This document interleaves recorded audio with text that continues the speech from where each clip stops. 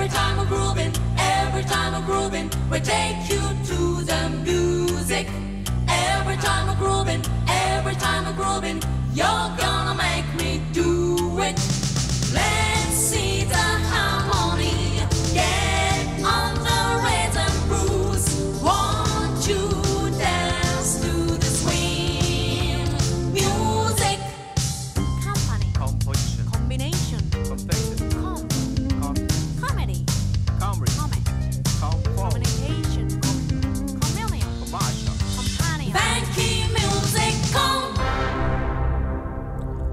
はい、アニホンショッキングです。7月ですね。そうかもね。はい、はい、はい、そうです。夏です。夏ですね。そうかもね。うん、かも、うん、かもっていうか夏なんだけどね。暑いよね。ずっとエアコンついつけてますよ、家でもね。ええ、ええ。そうかもね。あカモネなの？すごいね。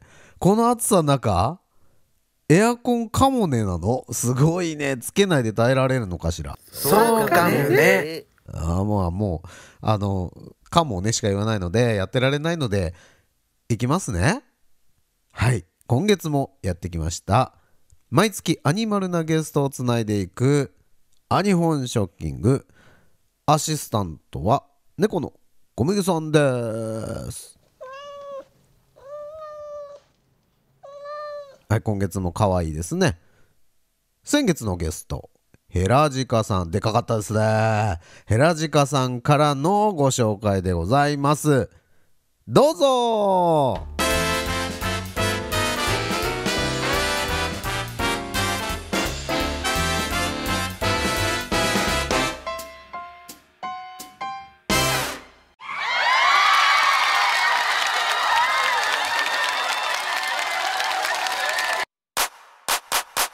元気だね。暑いのに。客席素晴らしいです。はい。あこんにちは。暑いところすみませんね。いや、ほんとよ。苦手なのよ。暑いのは。チリ出身なんでしたっけ？なんとか、なんとか島？なんとか島？ですか？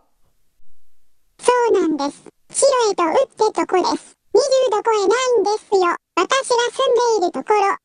それなのに、日本は何度ですか？やばいですよ。こんな時に呼ばれて。ははははは。いや、そんなに涼しいのいや、それはちょっときつかったですね。本当申し訳ないですね。ちょうどなんか暑くなってきた時に来てもらっちゃって、ほんとすいません。ヘラジカさんの紹介じゃ来ないわけいかないので、ね。そうね。あの、怒ったら怖そうだしね。でかいし。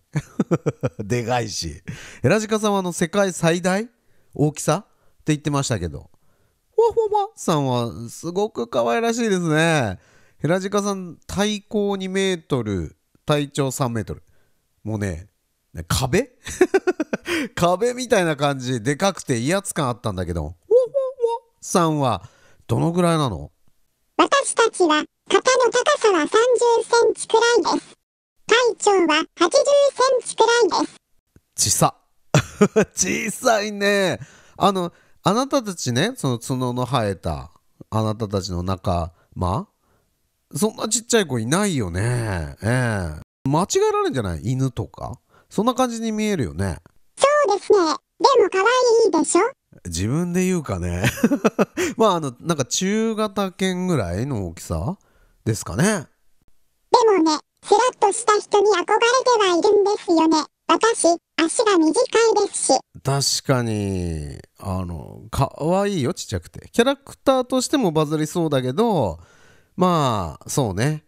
うんスラッとしたの憧れる気持ちも分かんなくはないかな、うん、ヘラジカさんとセットで売り出してみたらどうかね。あの小袋みたいに。いいんじゃない？歌出しますかはははははは。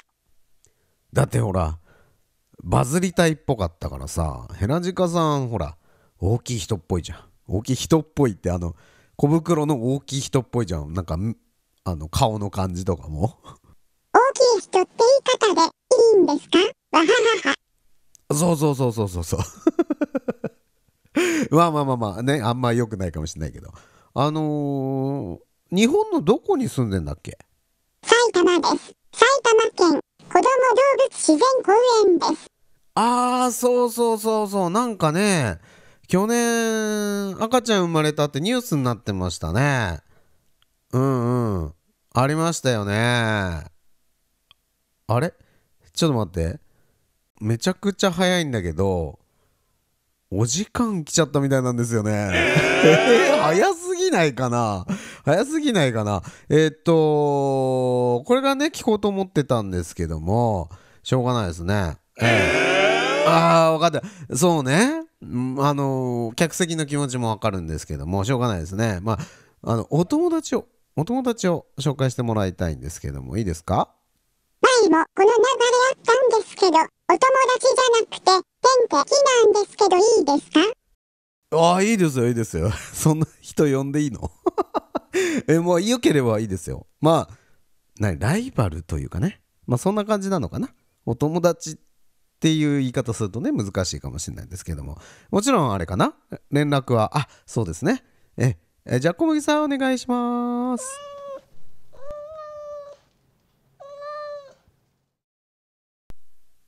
あのー、さ、だいぶ希少なんでしょ？ちですか？そうそうそうそうそうそう。そうですね。さっき話をしたチロレとウニしかいないので、そうなんだ。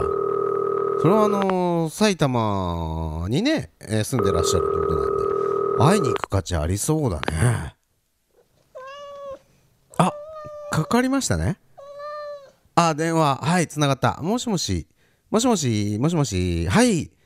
来月なんですけども、ゲスト来ていただきたいんですが、よろしいですか？ご紹介で。ええ、天敵だそうですけど、あ、天敵というか、あなたの獲物らしいですけども、今日のゲストの方は。はい。よろしいですか？はい、はい。